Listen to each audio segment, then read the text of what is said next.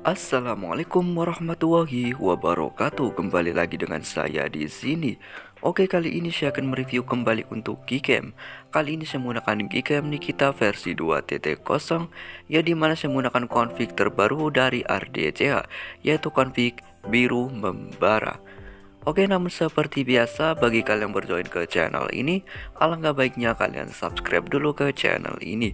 Dan juga aktifkan loncengnya supaya kalau saya upload video terbaru Kalian tidak ketinggalan untuk videonya. Oke kita langsung saja masuk ke cara pemasangan aplikasi dan juga untuk file config-nya Oke sekarang kita masuk ke cara pemasangan aplikasi dan juga untuk file config-nya. Seperti biasa untuk Bahan-bahannya bisa kalian cek aja untuk linknya ada di deskripsi video ini Yaitu ada aplikasi dan juga untuk file config-nya. Oh ya seperti biasa untuk file config-nya itu masih berbentuk zip Jadi perlu kalian ekstrak. Dan untuk ekstrak itu membutuhkan password Untuk password ada di video ini. Jadi skip-skip supaya nggak kelewatan untuk passwordnya Oke kita langsung saja masuk pembahasannya. Jika sudah kalian download untuk bahannya Lanjut kalian cari aja untuk file yang barusan download ya Seperti itu. Kalian masuk ke file manager atau pengelola file. Kalian cari aja file yang barusan di download ya. Jika sudah ketemu kalian install aja untuk aplikasinya seperti biasa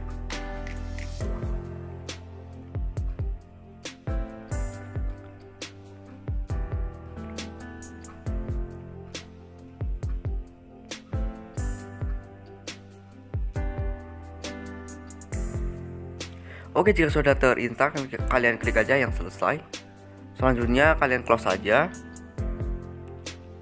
Kemudian kalian cari aja file yang barusan diinstal ya yaitu Gcam kita versi 2.0. Kalian masuk ke aplikasinya.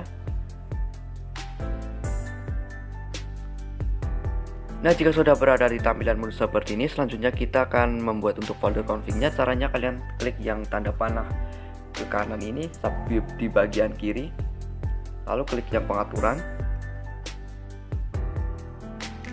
Lanjut kalian scroll aja ke bawah sampai ada menu atau konfigurasi di sini paling bawah kalian klik. Lalu kalian klik simpan.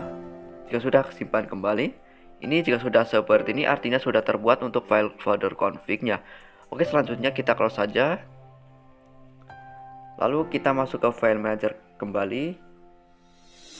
Kalian cari untuk filenya jika sudah kalian ekstrak. Nah, jika jika sudah diekstrak nanti akan ada tiga file config pilihan yang berformat auto JPG dan YUV. Selanjutnya kalian pindahkan aja atau salin saja ke penyimpanan ponsel. Lalu kalian cari aja untuk foldernya itu folder Gcam. Lalu ada lagi config 7 kalian klik, lalu kalian paste aja di sini. Oke, jika sudah seperti ini artinya sudah bisa kita gunakan. Oke, kita lanjut lagi. Sekarang kita akan masuk ke Gcam-nya kembali. Nah, selanjutnya kita akan merestore config-nya. Caranya kalian tap dua kali di bagian samping shutter layar ini. Klik dua kali.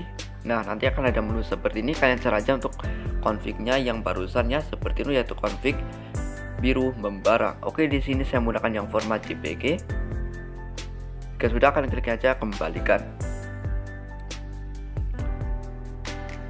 Nah jika sudah seperti ini artinya sudah bisa kita gunakan untuk config-nya Oke kita lanjut lagi untuk mereview config-nya Oke untuk objek pertama saya akan memiliki objek seperti ini. Di sini saya menggunakan yang mode kameranya seperti biasa. Oke sekarang kita akan coba lihat settingannya. Di sini saya menggunakan yang di lebih off. HDR plus disempurnakan. Untuk rasio gambar kita menggunakan yang 16 banding 9. Oke kita targetkan seperti ini. Kita fokuskan. Jika sudah kita shoot. Oke sekarang kita tunggu saja sampai proses HDR selesai seperti biasa. Langsung saja kita cek untuk hasilnya. Oke untuk hasilnya kurang lebih seperti ini untuk config terbaru ini config biru membara by RDCH Untuk warnanya sangat tajam karena colornya sangatlah over ya di sini Ini cocok banget untuk di siang hari ataupun malam hari. Untuk malam harinya bisa kalian coba aja untuk hasilnya seperti apa. Menurut saya ini hasilnya cukup bagus. Untuk detailnya cukup dapet. Minimum noise juga ya di sini untuk hasilnya. Oke sekarang kita akan coba untuk review di Google OB on-nya untuk hasilnya seperti apa. Kita akan coba saja. Kita on kan Google OB nya untuk settingan lain kita samakan saja. Rasio gambar sama 16 banding 9 Oke kita targetkan lagi. Seperti ini kita fokuskan jika sudah kita shoot Oke untuk prosesnya lumayan cukup cepat. Membutuhkan 1 sampai 2 detik saja di sini. Oke kita tunggu saja. Sekarang kita cek untuk hasilnya.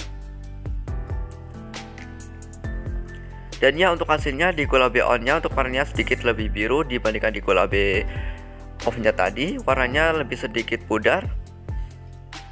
Kalian bisa bandingkan saja di gulabe off dan di gulabe on nya kalian lebih suka yang mana? Kalian bisa komen saja untuk config-nya bisa kalian download aja, linknya ada di deskripsi video ini ya. Kalian bisa cek saja di situ. Kalian bisa nilai saja untuk config ini ya, seperti ini untuk hasilnya. Oke, kita lanjut lagi untuk foto objek selanjutnya. Oke, untuk objek selanjutnya saya akan menggunakan objek seperti ini. Di sini saya menggunakan yang di mode kameranya seperti biasa.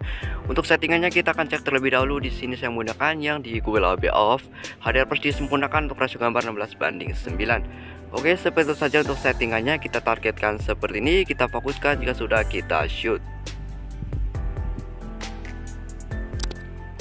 Oke, sekarang kita tunggu saja sampai proses adrenal selesai seperti biasa. Langsung saja kita cek untuk hasilnya. Oke untuk hasilnya kurang lebih seperti ini. Untuk config terbaru ini config di kita versi 2.0 yaitu config biru membara. Untuk hasilnya kurang lebih seperti ini. Untuk warnanya sangatlah hijau di sini sangatlah bercahaya. Sesuai nama confignya di sini. Untuk warnanya ini biru membara Buat kalian yang suka warna gonjreng seperti ini, kalian coba aja untuk config ini. Untuk linknya nanti akan disertakan di link deskripsi. Oke, sekarang kita akan coba untuk set settingan selanjutnya. Di sini saya akan coba aktifkan di Google AWB-nya seperti ini. Untuk rasio gambar sama 16 banding 9 Oke kita targetkan aja seperti ini kita fokuskan jika sudah kita shoot Oke kita tunggu saja sampai proses adena selesai Langsung saja kita cek untuk hasilnya. Dan ya untuk hasilnya kurang lebih seperti ini. Untuk di gulabe on-nya untuk kalian bisa bandingkan saja dari hasil sebelumnya ini di gulabe off dan ini di gulabe on-nya. Untuk warnanya lebih sedikit pudar di bagian yang di gulabe on-nya ya. Ya itu untuk perbedaannya sudah kelihatan di warnanya ya untuk hasilnya juga detail minim noise di sini ini config support di siang ataupun malam hari ya kalian bisa coba saja untuk di malam harinya oke kita lanjut lagi untuk objek selanjutnya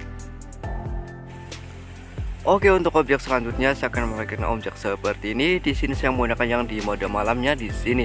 Untuk settingannya kita akan cek terlebih dahulu. Di sini saya menggunakan yang di Globe off. Untuk settingan lain kita biarinkan aja ya untuk rasio gambar 16 banding 9 Oke kita targetkan seperti ini. Kita fokuskan jika sudah kita shoot. Oke sekarang kita tunggu saja sampai proses adrenal selesai seperti biasa. Langsung saja kita cek untuk hasilnya. Dan ya untuk hasilnya sangatlah jernih di sini di config terbaru ini Config biru membara by RDJH untuk warnanya sangat tajam di sini. Warnanya sangatlah over ya tapi lumayan cukup cakep lah untuk hasilnya. Ini cocok juga untuk di objek manusia cuman warnanya ya agak sedikit merah ya seperti itu. Oke sekarang kita akan coba untuk settingan selanjutnya. Di sini saya akan coba untuk aktifkan Google AWB nya untuk settingan lain kita samakan saja seperti tadi. Oke kita fokuskan lagi seperti ini jika sudah kita shoot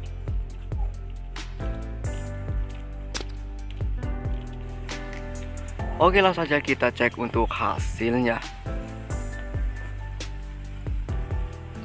Dan ya untuk hasilnya di gulabe on ya untuk warnanya lumayan cakep ya untuk hasilnya. Kalian bisa bandingkan saja dari hasil sebelumnya. Ini di gulabe off dan ini di gulabe on ya untuk warnanya cukup dapet.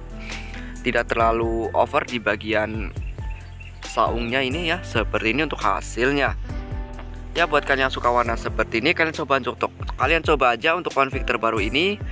Config config biru membara by RDC ya, untuk linknya seperti biasa nanti akan disertakan di link deskripsi video ini. Oke untuk videonya sampai sini saja. Terima kasih yang sudah menonton dari awal hingga akhir. Wassalamualaikum warahmatullahi wabarakatuh